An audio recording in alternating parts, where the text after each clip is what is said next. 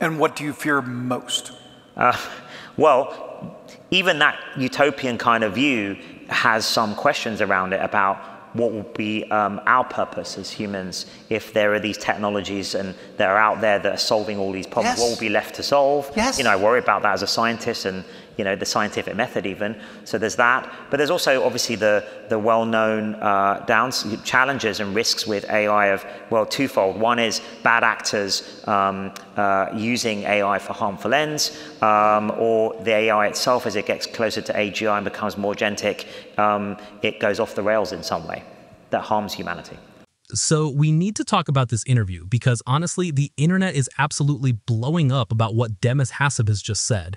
And for once, the panic is actually justified. I mean, we're not talking about some random tech bro trying to pump a crypto coin. This guy is the CEO of DeepMind. He literally just won a Nobel Prize. So when he says we're looking at a non-zero chance of extinction, you have to take it seriously. But, and this is the part that is genuinely wild, he's not just doom mongering, he's laying out a roadmap for the next 12 months that is fundamentally different from what we're used to. If you listen closely to his exact words, he's talking about moving from chatbots to world models, which basically means we're evolving from AI that just predicts the next word in a sentence to AI that understands physics, gravity, and cause and effect. It's the difference between knowing the word apple and knowing what happens when an apple falls off a table.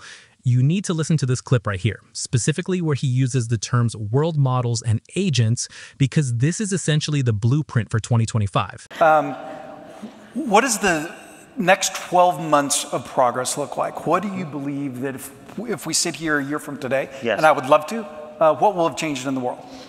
Um, I think the things that, that we're, we're pressing hard on are um, uh, the convergence of mo modalities. So you, Gemini, which is our main foundation model, has always been multimodal from the beginning. It, it takes images, video, uh, text, audio, and then can produce, now increasingly produce those uh, uh types of outputs as well.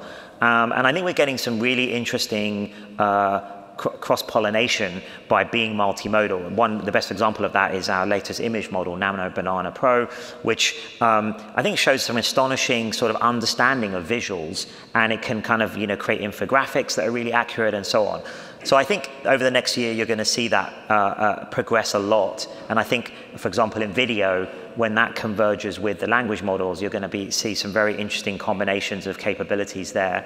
I think the other things we're going to see over the next year, and I'm personally working on, is world models. So uh, we have this um, uh, system called Genie, Genie 3, which is like an interactive video model you can think about. So you can sort of generate a video, but then you can start walking around it like you're in a game or simulation, and it stays coherent for a minute. I think that's very exciting. Um, and then, uh, you know, maybe uh, the other thing is agent-based systems. So we, I think the field's been talking a lot about agents, but then they're not reliable yet enough to do full tasks tasks, but yeah. I think over the next We've heard a lot about that uh, today. Now, did you catch that distinction? Because that is the whole game right there. He's talking about world models. And if we pull up the footage of DeepMind's Genie or OpenAI's Sora, you can see exactly what he means. These aren't just video generators, they're physics engines that simulate reality. But here's the thing that worries me, and I think this is the part people are missing. When you combine a model that understands the physical world with an agent that can execute tasks, you're not building a tool anymore, you're building a digital employee. Hassabis admits that current agents, like the disastrous Rabbit R1 launch we saw earlier this year, are pretty terrible, but he predicts that reliability gap closes in just one year. But frankly, this leads us to the most dangerous part of the interview. If these agents are autonomous enough to do our jobs, are they autonomous enough to ignore our safety protocols?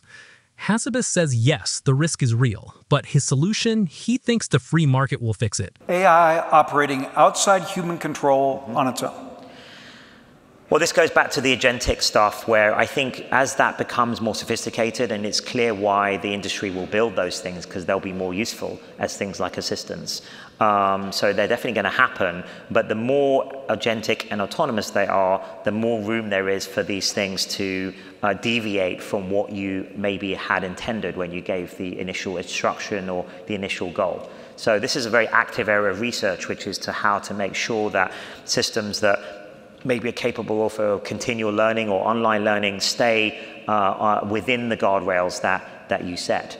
I mean, I think the good news is um, because AI is become such so big commercially and for enterprises, if you think about renting or selling one of your agents as a model provider, leading model provider to another big business, those businesses will want guarantees around the agent's behavior, what it does with their data, what it does with their, the customers, and if those things go wrong, they're not going to be existential in any way, but you'll lose the business for sure.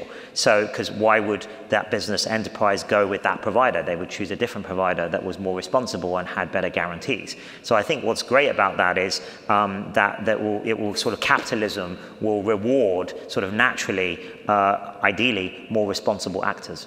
But it's possible that the AI could jump the moat, jump the guardrail.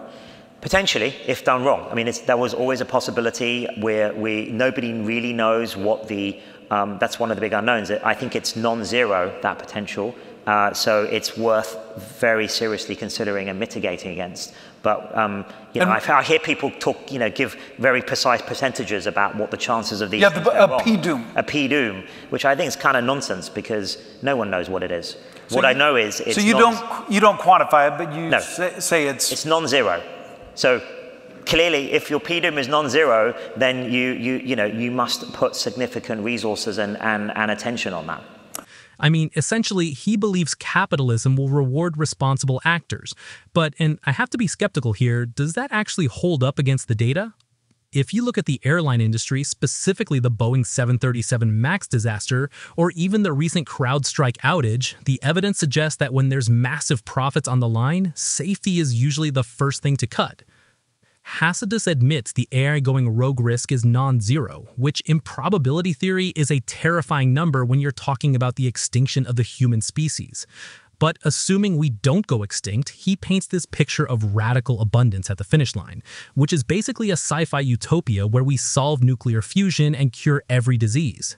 Well, look, the, the, the, the, the best case scenario that, that I've always dreamed about and why I've worked my whole life on, on, on AI and, and you know, getting closer to this moment we've been working towards for decades now, many of us, is um, uh, a kind of, I've sometimes call it radical abundance. So this idea we solved a lot of the biggest issues confronting uh, society and humanity today. So whether that's free, uh, uh renewable, clean energy, maybe we solve fusion or better battery, optimal batteries and, and solar uh, materials, uh, semiconductors, you know, material science. We've solved a lot of diseases. So then we're in a situation where, you know, we're in this new era, post-scarcity era, and where uh, potentially, you know, humanity is, is, is flourishing and traveling to the stars and spreading consciousness to the, to the galaxy. But that brings us to the WALL-E scenario he hinted at earlier. If AI solves biology and energy and economics, what is actually left for us to do? I mean, fundamentally, if the machine provides the answer to cancer, but we don't understand how it did it, have we advanced or have we just become pets to a superior intelligence? But look, the craziest part is the timeline. For years, people said AGI was decades away. But if you look at this timeline Hassabis is projecting now, he's saying 5 to 10 years. And honestly, with the way scaling laws are holding up, it could be even sooner if we hit one or two more breakthroughs refreshing about your approach is with artificial general intelligence, human capable uh, AI, you don't shy away from it. Some other people say, well, we won't know, or we're already there, or it doesn't yeah. matter. You say that it does matter yes. and we will know, and you say it's not far off. Yeah. We're definitely not there now. So, and, and I. And well, I, actually, quite close is how you say Yes, quite close. Yes, I think yes. we're like five to 10 years away, if you were to ask me. I'm sorry, I think say that again. Five, five to 10 years okay. away. Yep. I think my bar, though, is quite high. So, this is the, the, the we define AGI as, you know, the, a system that, that, ha, that exhibits all the cognitive capabilities we have. And that includes uh, inventive and creative capabilities. I think there are missing, there's, as all of you have used the current LLMs, they're, they're, they're amazing in some ways, they're really impressive in some senses, in some, they've got incredible, almost PhD levels, uh, key skills in some areas, IMO gold medals and so on, but in other areas, they're very flawed still. And so they're these sort of jagged intelligences. So the, you would expect across the board consistency from a true AGI. And they're missing other capabilities like continual learning, online learning, long term planning and reasoning. They can't do any of these things currently. I think they will be able to, but maybe one or two more breakthroughs are going to be required. We are standing on the precipice of the most transformative moment in history, oscillating between radical abundance and total obsolescence. He thinks we can thread the needle, but I want to know what you think. Is a Nobel Prize enough to stop a rogue algorithm? Tell me in the comments if you buy it.